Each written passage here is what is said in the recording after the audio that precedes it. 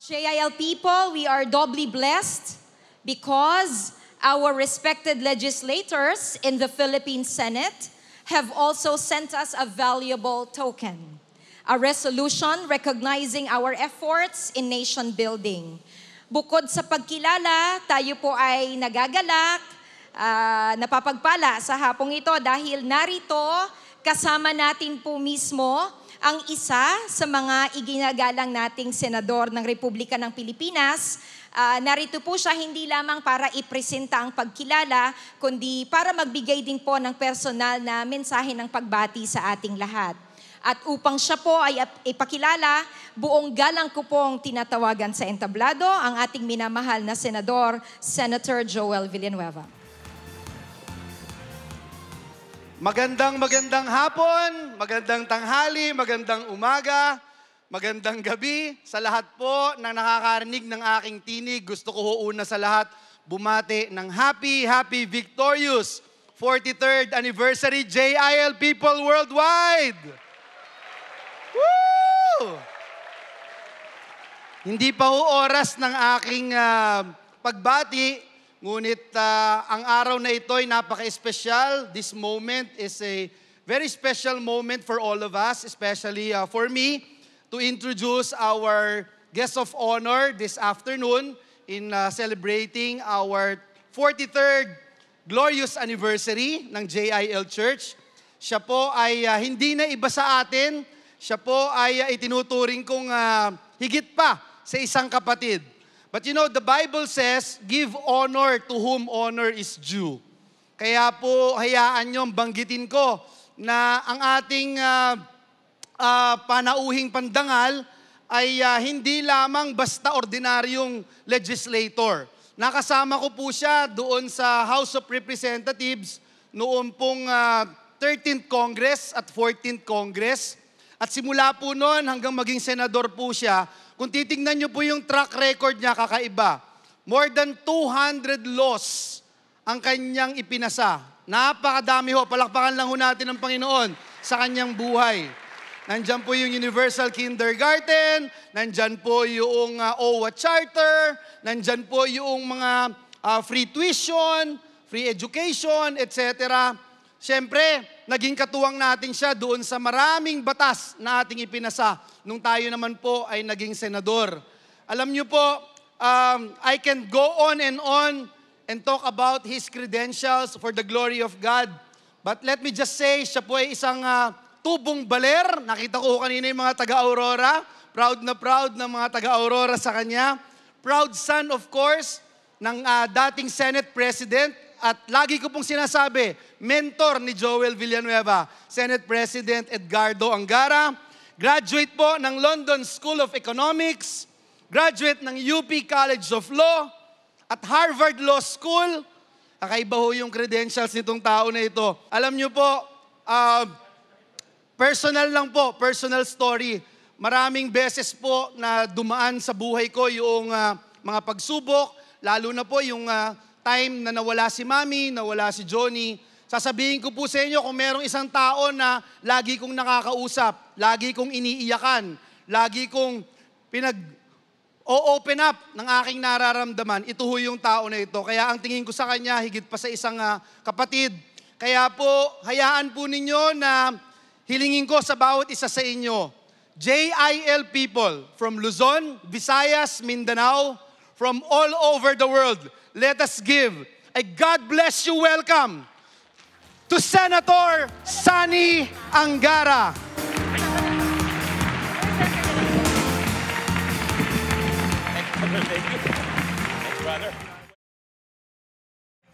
Thank you very much po. Maupo na ho tayong lahat. Ah, Unang-una, happy anniversary po. Ah, as as ah, you all say, happy victorious ah, 43rd anniversary to the JIL movement. And of course, maraming maraming salamat po sa ating, ah, sabi nga ni Joel, mahigit pa na kapatid, ah, a bosom friend. Nasa puso po talaga natin. Ah, ang isa sa pinaka masipag na senador, isa sa pinaka dedicated na senador, uh, no less than the chairman of the Senate Labor Committee, the chairman of the Senate Higher Education Committee, Dalawa po ito sa mga pinag-aagawan po na komite. Pero pin, i- inintrust po, inintrust sa katauhan ng isang Senator Joel Villanueva. At tamang-tama po, dahil nung nag-decide kami noong 2019 na ibigay yung mga committee na yon kay Senator Joel, wala pa pong pandemya. Pero alam po natin na tinamaan po tayo ng COVID-19 pandemic. At iba po ang naging epekto sa buong bansa, sa buong mundo, mas lalo na po sa ating mga estudyante. Kaya napakalaking tulong po ng mga scholarship grants, ng mga tulong sa mga IT equipment ng ating Senator Joel sa mga state universities from Batanes all the way to Tawi-Tawi.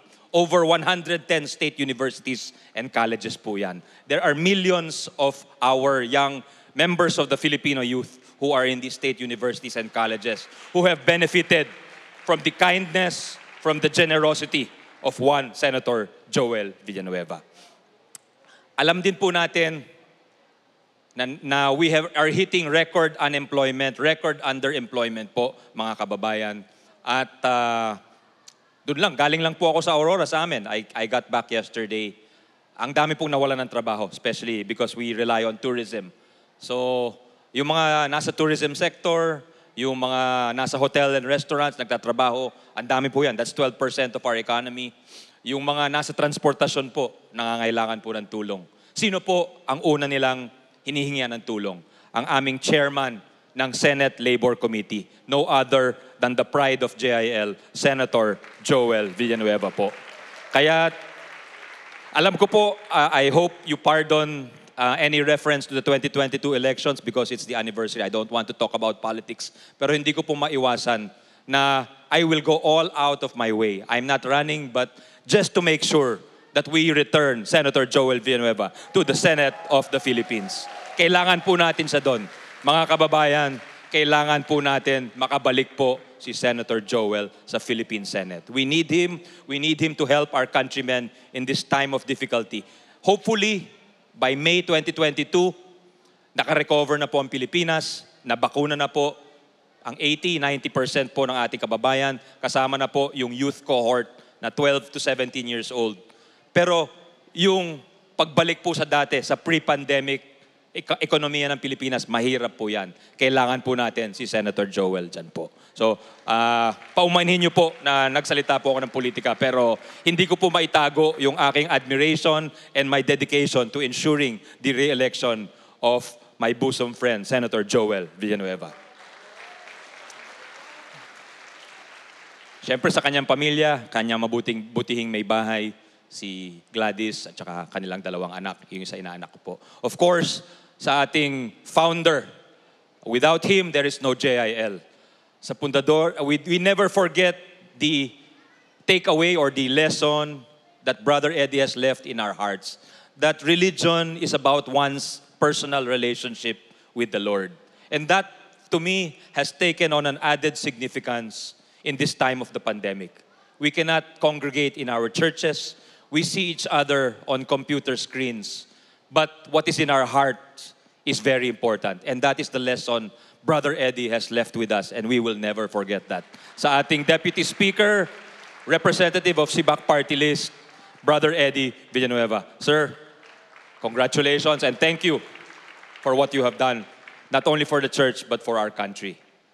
Ah, kay Congressman Doming Rivera also of Sibak Party List and ah, sa lahat ng taga Sibak ah, Party List and sa office ni Senator Joel, kay Bishop Leo, ah, kay Vice President Jovi Villanueva, ah, kay Mayor John John Villanueva, I understand he's also here.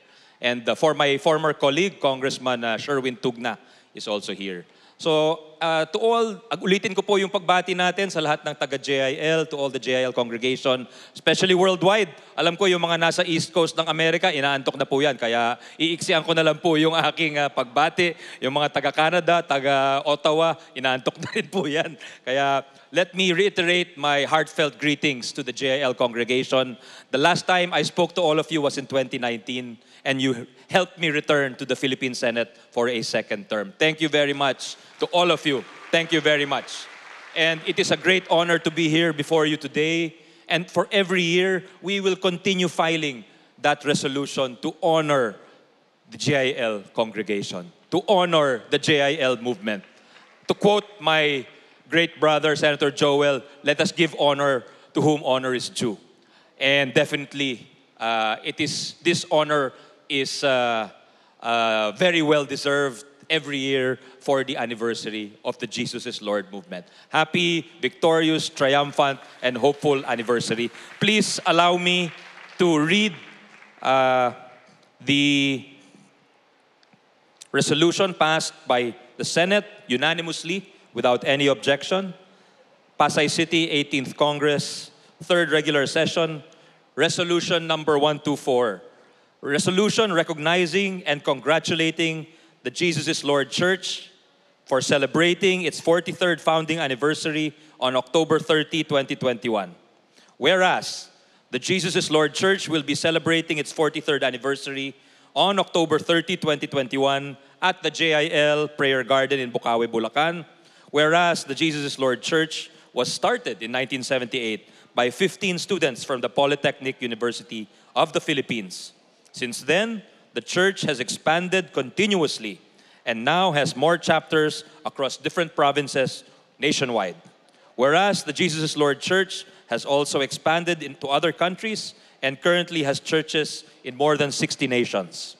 Whereas the Jesus is Lord Church, consistent with its mission, continues to bring all peoples to the kingdom of the living God, regardless of race, status, belief, and religious affiliations, through the saving, healing, delivering, and transforming power of the Lord Jesus Christ.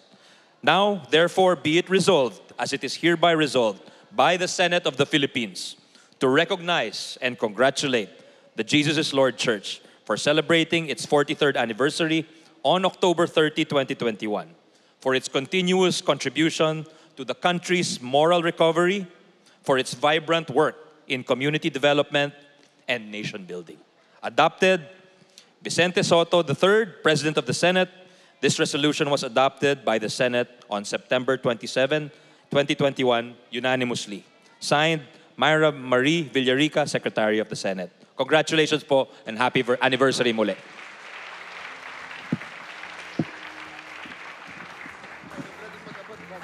Thank you so much, Senator Angara. To receive the token of recognition from the Philippine Senate are our uh, dear Senator Joel Villanueva and the Spiritual Director, Bishop Brother Eddie Villanueva.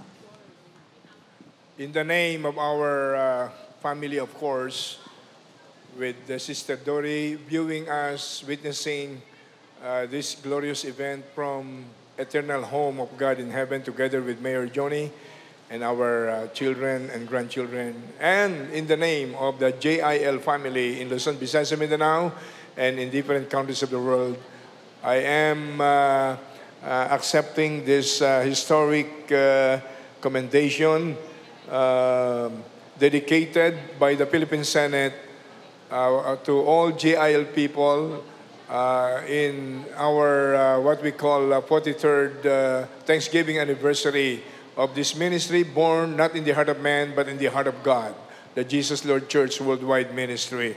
And uh, I would like to personally thank the entire Philippine Senate, headed by uh, Senate President uh, Tito Soto, and most of all, the principal author, and consistently every year, principal author of Senate's uh, commendation to JIL uh, anniversary. Consistent po yan. Walang iba kung hindi ang anak ng aking ginagalang, minamahal kong kaibigan na the late uh, uh, Edgardo, uh, Senate President uh, Edgardo uh, Angara at uh, walang iba kundi ang kanyang uh, uh, mahal na mahal na heir to the throne, uh, Senator uh, Sani Angara.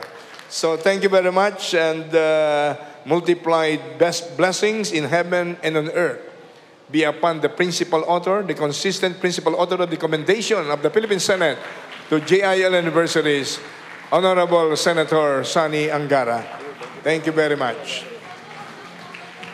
Muli po, maraming maraming salamat, Senator Sonny Angara. We would also like to express our wholehearted thanks to the Senate of the Philippines for your recognition. We count this commendation for Jesus. All glory to him alone.